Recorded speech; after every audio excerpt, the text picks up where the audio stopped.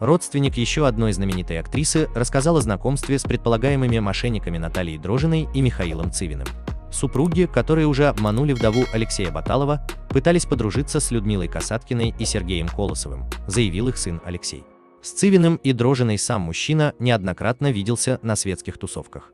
О многочисленных регалиях Натальи он был наслышан и даже подумать не мог, что ничего из перечисленного на самом деле нет. Они прилагали усилия, чтобы втереться в доверие к моим родителям, подходили к ним на мероприятиях в Доме кино. Но в этом направлении серьезно не работали. Видимо, потому что нужно было приложить больше усилий. А у них были еще и другие объекты внимания в этом плане, припомнил сын. Родственники всегда старались быть настороже.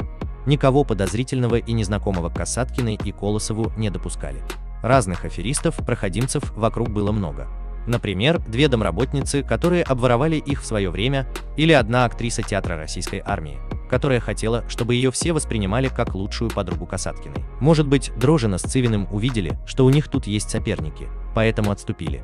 Алексей сознался, после того, как у родителей начались проблемы с памятью. На горизонте сразу нашлись люди, которые очень хотели что-то подписать. Благо, ни одна сделка так и не состоялась.